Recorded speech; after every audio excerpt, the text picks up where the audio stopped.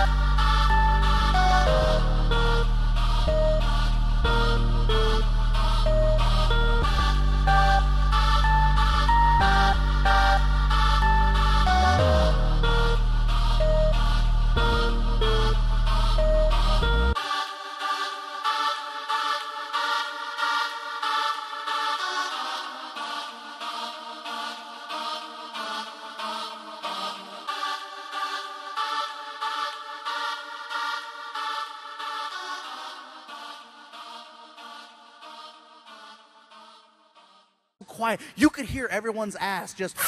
And it's too late. Blood of Jews is all over his face, right? He says, That's a good one. Yeah, that's. It doesn't end there. Lufthansa, German airline. Why I believe in karma. Martin's like, Really? Blood of Jews? I'm like, I know. Owns, take care of Fluffy. Oh. About 20 minutes into the flight, flight attendant, she starts coming down the aisle with a little cart. Hello, sir. Uh, do you have a preferred drink of choice today? Martin looks at me, taps me in the chest, and he goes, Hey, tell her. And then she looks at Martin. Sir, do you have a preferred drink of choice? And Martin's like, Yeah, you guys got blood of. She's like, Bloody Mary? Yes, yes, Bloody Mary. Freaking Machete's gonna get me banned from flying.